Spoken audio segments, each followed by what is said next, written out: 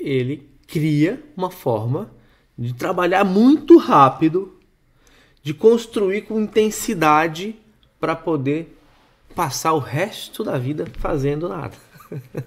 Você concorda comigo que é muito melhor você curtir o ócio sem peso na consciência, né, sabendo que a tua vida está em dia, do que você ser o preguiçoso burro? Então, eu sou eu, eu me julgo o preguiçoso inteligente. Então, desde cedo, eu comecei a correr atrás de formas de construir a minha independência, porque eu quero curtir a minha preguiça com responsabilidade.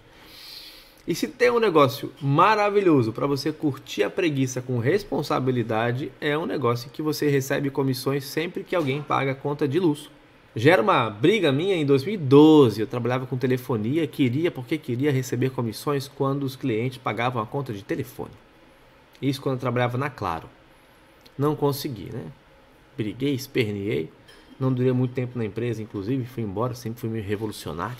E aí em 2022 eu encontrei a Green Energy com essa proposta maluca de fazer com que o cliente pague mais barato e eu receba a comissão. Eu falei, não é possível, o negócio desse aqui é bom demais para ser verdade. Não, deve ter alguma pegadinha. E não tem. E não tem. O negócio é bom demais e é verdade. Então, esse é o nosso mantra, né? É bom demais e é verdade.